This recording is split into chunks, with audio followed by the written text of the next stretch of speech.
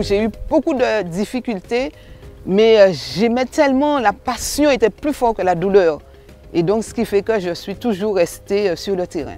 Viviane Litusgo Losange, fondatrice de l'association Vie Écolo et de l'entreprise Vive Écolo.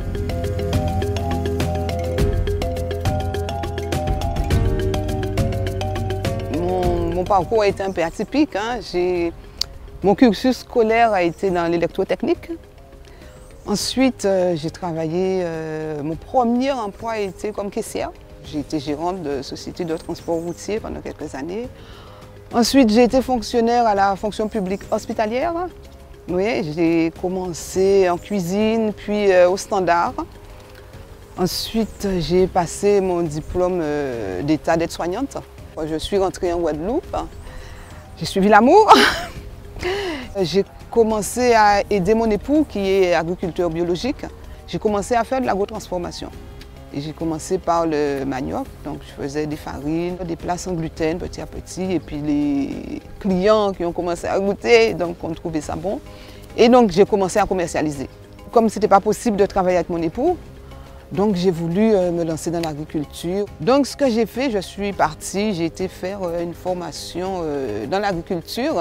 Et donc là, ça a commencé vraiment un parcours vraiment très difficile parce que pour trouver du foncier, ce n'était pas évident. J'aurais pu me décourager, mais j'ai la résilience. et donc j'ai continué, j'ai cherché et puis finalement j'ai pu obtenir cette première parcelle. J'ai pu m'étendre et aujourd'hui, je suis sur environ 4 euh, hectares, près de 4 hectares, mais morcelé sur euh, plusieurs euh, parcelles. Depuis 2018, j'ai travaillé bénévolement avec l'association que j'ai fondée. Parce qu'en fait, comme il fallait une, une couverture, une structure, donc j'ai fondé l'association pour faire passer un peu le message de l'alimentation saine, de la culture propre, d'une agriculture propre. Euh, par l'association, mais euh, bon, l'association, ça ne paye pas. Donc, euh, je me suis dit, bon, je vais me lancer dans l'entrepreneuriat. Et donc, j'ai créé l'entreprise Vive Écolo. Mon activité dans mes jardins, alors, donc, c'est m'occuper un peu de, de la plantation, m'occuper de l'entretien, parce que comme on est en bio, donc tout se fait manuellement. Et euh, le plus gros morceau aussi, la transformation. Parce qu'après avoir cultivé, récolté, on fait la transformation et après il faut faire la commercialisation. Alors je transforme euh, principalement le camanioc que je cultive, donc je fais des farines. Je fais euh, farine de manioc, il y a la, la, moussage, il y a la moussage séchée, la moussage fraîche. je fais la farine coco, euh, je fais aussi, euh, c'est pas vraiment des cassaves, j'ai baptisé ça calso manioc. C'est une calzone de manioc. Donc je fais d'autres, la poudre de moringa, d'autres petites transformations.